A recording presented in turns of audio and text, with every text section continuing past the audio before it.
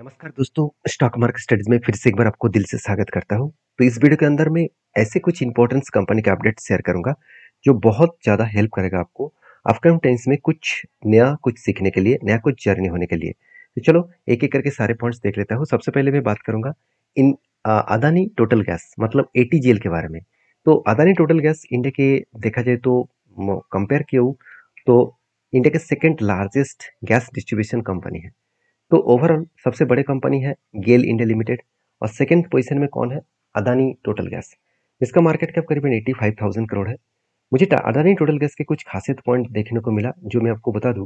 देखिए गेल से भी ज़्यादा इसका आरओसी है तो बेस्ट है। कर्जा थोड़ा सा ज़्यादा है, कोई बात नहीं पॉइंट फाइव ज़ीरो के नीचे है तो ठीक ठाक है। कंपनी का सेल्स का ग्रोथ गेल से भी ज़्यादा है। कंपनी का प्रॉफिट का ग्रोथ चलो गेल से बहुत कम है, फिर भी इस सेक्टर का जो एवरेज है, उससे ज़्यादा है। मतलब कुछ पॉइंट्स जो है जो कंपनी के लिए खास पॉइंट्स बना रहा है। कुछ पॉजिटिव पॉइंट्स यहाँ पे बनता हुआ देखने को मिले। अभी एटीजीएल के ऊपर मतलब अदानी टोटल गैस के ऊपर, एक डेटा मैं आपके साथ शेयर करूँ तो आप चौक जाओगे कि कंपनीज़ के ऊपर देखिए, जो कर्जा है, वो लगातार घटते चले जा रहे थे। अभी धीरे धीरे करके बढ़ता हुआ देखने को मिले और जो बोरिंग्स है, वो 1550 करोड़ के आसपास देखने को मिला। मतलब जो कर्जा है, वो यहाँ पे बढ़ता हुआ देखने को मिले। अभी यही चीज़ को अगर मैं फिर से दोहराऊँ कि कंपनी इसके ऊपर जो कर्जा बढ़ा है, क्या इस कर्जे को वो इजीली मिटा सकते हैं? हाँ बिल्कुल मिटा सकते हैं, क्योंकि खुद के पास रिज़र्व तीन हज़ार चार सौ करोड़ है, खुद के पास फिक्स्ड एसेट तीन हज़ार एक सौ करोड़ है। तो ओवरऑल कंपनी का जो फिक्स्ड एसेट है, वो अच्छा खासा फिक्स्ड एसेट यहाँ पे देखने को मिला। तो मेरे हिसाब से बेस्ट तरीके से यहाँ पे फिक्स्ड एसेट देखने को मिला और रिज़र्व भी देखने को मिला है। और मुझे लगता है जो रिज़र्व यहाँ पे बढ़ा है, जिस तरीके से फिक्स्ड एसेट यहाँ पे बढ़ा है, उसके कारण कंपनी के ऊपर ग्रोथ भी अच्छा खासा होने वाला है। जो लोग सोच रहे थे कि हिंदनबर्ग रिपोर्ट आया फिर से तो कंपनी फिर से बर्बाद हो जाएगा। जैसे आ, 2021 के बाद हुआ था ऐसे बिल्कुल नहीं। क्योंकि हिंदनबर्ग के रिपोर्ट तब अचानक आए थे और मार्केट एक नेगेटिव सेंटीमेंट के लिए तैयार नहीं थे और बड़ा सा फॉल हो गया। तो ये ये फॉल एक्चुअली हुआ नहीं फॉल किया गया क्योंकि बड़े इन्वेस्टर वहाँ से पैसा कमाया और रिटेल पब्लिक को पूरा का पूरा बर्बाद कर दिया। तो इसलिए मैं हमेशा बोलता हूँ कंपनी के ऊपर सोच समझ कर काम करना चाहिए। तो जैसे एटीएल के ऊपर अगर चार्ट को देखो आप ध्यान से देखना, एक वीक फॉल हुआ था। वीक फॉल मतलब एक बड़ा सा फॉल देखने को मिला। एक अच्छा खासा करेक्शन देखने को मिला 2000 मतलब 22 के बाद। जब हिंदनबर्ग की रिपोर्ट आया था, तब उसके बाद देखिए कितनी बड़ी क्रैश हुआ था। और उसके बाद देखिए धीरे धीरे करके रिकवरी करने का भी कोशिश कर रहा है। अभी फ़िलहाल के लिए कंपनी के ऊपर एक रेंज केट बना। मतलब यहाँ पे एक, दो, तीन तीन के तीन बाइंग कैंडल बने और इसके अगेंस्ट में कंपनी के ऊपर एक रेंज बने। और रेंज के बेसिस में जब भी कंपनी नीचे लेवल को टच करेगा मतलब कंपनी यहाँ से आकर इस नीचे लेवल को टच करेगा, तब क्या बनेगा? तब बनेगा एंट्री मतलब लगातार कंपनी के ऊपर करेक्शन होने के बाद अगर इस नीचे लेवल तक आए तो यहाँ पे बेस्ट तरीके से यहाँ पे क्या बन सकता है? एंट्री बन सकता है। अभी इस बेस्ट तरीके से एंट्री पॉइंट से अगर बता दूँ तो कंपनी के ऊपर अगर इस लेवल को टच करे, जो लेवल निकल कर सेवन हंड्रेड के आसपास तो यहाँ से कंपनी का बाउंस बैक होने का चांसेस रहेगा। क्यों रहेगा? क्योंकि आपको मैं कंपनी का फाइनेंशियल डिटेल्स को दिखा दूँ तो कंपनी का, देखिए सेल्स में कोई भी कमियाँ नहीं है। मतलब रेवेन्यूज में कोई भी कमियाँ नहीं है कंपनी का प्रॉफिट ग्रोथ में भी कोई कमियाँ नहीं है। तो जो कंपनी का सेल्स ठीक है, जो कंपनी का प्रॉफिट ठीक है और कंपनी का फंडामेंटल्स भी ठीक है तो वो कंपनी के ऊपर करेक्शन होने के बाद वो रिकवरी ज़रूर करेगा। और बड़े बड़े ऑपरेटर का यही खेल है, आप खुद ही देख सकते हैं। जब यहाँ पे कंपनी बिग बाउंस किया था, तब वॉल्यूम भी देख लीजिए, इतना हाई वॉल्यूम लेवल देखने को मिला था। तो इस तरीके से हाई वॉल्यूम्स लेवल के हिसाब से मुझे लगता है जिस तरीके से वॉल्यूम्स यहाँ पे क्रिएट हुआ, उसके अगेंस्ट में जब भी इस नीचे लेवल को टच करेगा, तब क्या बनेगा? तब बनेगा एंट्री तो मुझे लगता है यहाँ पे धीरे धीरे धीरे धीरे करके नीचे आ रहा है और इस नीचे लेवल को टच करेगा, तब क्या बनेगा? एंट्री बनेगा. क्योंकि ऑपरेटर इसको फिर से इस नीचे लेवल तक लेके आएँगे और यहाँ से फिर से बाई करेगा और इस टॉप लेवल तक उसका टारगेट रहेगा. तो इस तरीके से स्ट्रैटेजीज के ऊपर मैं बहुत बार काम किया हूँ और इस काम के बेसिस में मुझे इस कंपनी का स्टेन बहुत स्ट्रांग लगा. तो इस स्ट्रैटेजीज के ऊपर मैं कंटिन्यू ज़रूर करना चाहूँगा। तो प्लीज़ मैं रिक्वेस्ट करूँगा ये एक रिक्सी ट्रेड होगा। तो इस ट्रेड को लेने से पहले आपके फाइनेंशियल एडवाइजर के साथ एक बार ज़रूर चर्चा कर लेना। तो नेक्स्ट जो कंपनी उसका नाम है पतंजलि। देखिए, पतंजलि के ऊपर लास्ट कुछ डेज़ में एक अच्छा खासा फॉल देखने को मिला। आप खुद ही देख सकते हैं, पतंजलि के ऊपर लगातार एक करेक्शन मोमेंटम देखने को मिला है। मुझे जो टारगेट लेवल चाहिए था, उस टारगेट मिलने से पहले ही कंपनी का टारगेट पॉइंट कितना बाकी था? तो टोटल जो टॉप के थे, उससे का टारगेट पॉइंट को देखूँ तो ऑलमोस्ट तीन, साढ़े तीन परसेंट के आसपास बाकी थे। अब मैं आपको बहुत बार बोल चुका हूँ कि हम लोग सोचते हैं कि चलो कोई पैटर्न स्केड हुआ है, काफ़ी धन पैटर्न बना ब्रेकआउट हुआ तो वो टारगेट लेकर ही दम लेंगे। ऐसे बिल्कुल नहीं। देखिए, जब ब्रेकआउट हुआ था यहाँ पे जब ब्रेकआउट हुआ ब्रेकआउट कन्फर्मेशन भी हुआ था, उसके बाद देखिए एक बार रिटेस्ट करने के लिए आए।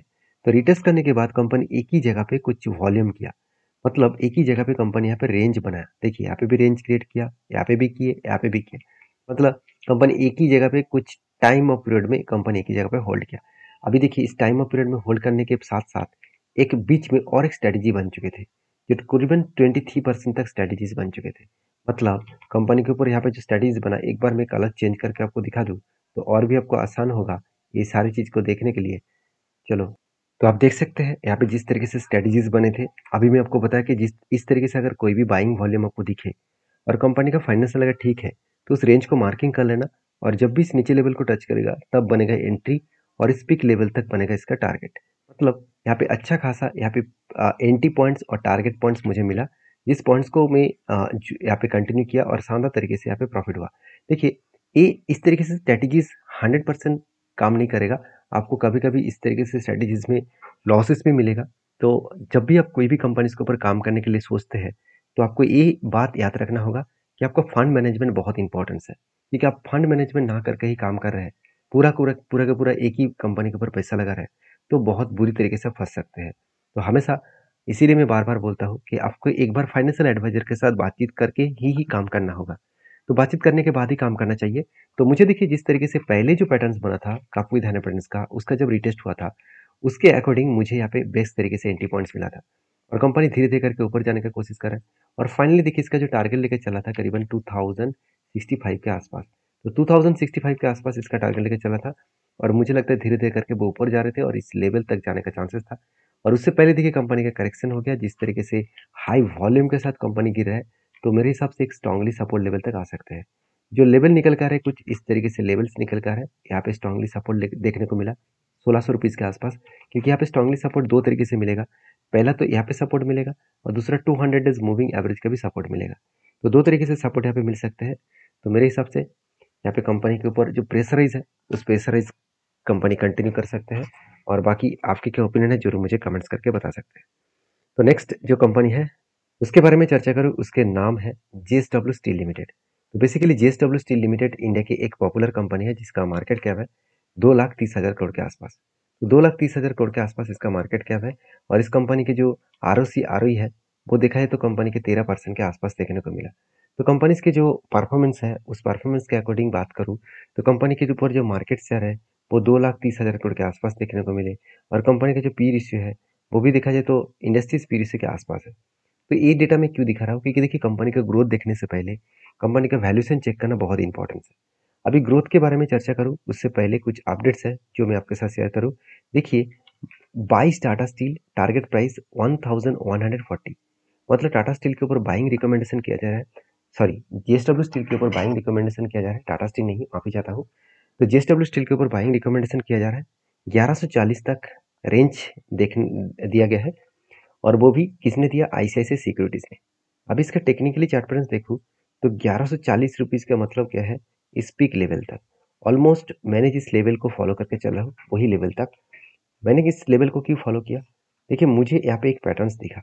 जो पैटर्न कुछ इस तरीके से बने, पहले कब बने और इसके बाद दो बार हैंडल बने। और फाइनल देखिए ब्रेकआउट होने के बाद कंपनी एक ही जगह पे धीरे धीरे करके ऊपर जा रहा है। मतलब एक हायर हाई करते करते वो आगे बढ़ रहा है। तो जिस तरीके से यहाँ पे सिचुएशन बना है, उसके अगेंस्ट में कंपनी इजीली इस टॉप लेवल तक जा सकते हैं। जो लेवल निकल कर है करीबन ग्यारह सौ पैंतालीस रुपीज़ के आसपास और आईसीआईसी सिक्योरिटीज़ ने इसको ग्यारह सौ चालीस तक टारगेट दिया है। तो देखा जाएगा टारगेट होगा कि नहीं होगा। इसके लिए आपको इस कंपनी के ऊपर डीपली रिसर्च करना चाहिए। जैसे कंपनी के ऊपर टारगेट होने से पहले मतलब एंट्री लेने से पहले आपको सबसे पहले फंडामेंटल्स देखना होगा। जैसे इसका फंडामेंटल्स मुझे ठीक ठाक लगा। प्रॉफिट भी थोड़ा सा वीकनेस है, क्योंकि स्टील मैन्युफैक्चरिंग कंपनी के ऊपर ग्लोबली मार्केट में जिस तरीके से प्रेशराइज आ रहा है तो उसके कारण थोड़ा सा वॉलेटिलिटी है। बाकी साल भर के डेटा देखो तो साल भर में जो पिछले साल में कंपनी का प्रॉफिट कम हो गया था, वो इस बार फिर से रिकवरी कर चुके हैं। मतलब सेल्स एंड प्रॉफिट ग्रोथ ठीक ठाक काम कर रहा है, जो कंपनी को आगे बढ़ाने के लिए काफ़ी है। तो बाकी, इस कंपनी के ऊपर आपके क्या व्यू है ज़रूर मुझे कमेंट्स करना। नेक्स्ट जो कंपनी उसका नाम है एक्सीटा कॉटन्स लिमिटेड तो एक्सीटा कॉटन्स लिमिटेड देखा जाए तो इसका सेक्टर के बारे में बात करें तो वो एक टेक्सटाइल कंपनी है। तो टेक्सटाइल इंडस्ट्रीज़ में कंपनी बहुत छोटा कंपनी है। फिर भी इस कंपनी ने एक अपडेट बहुत बड़ा सा दिया।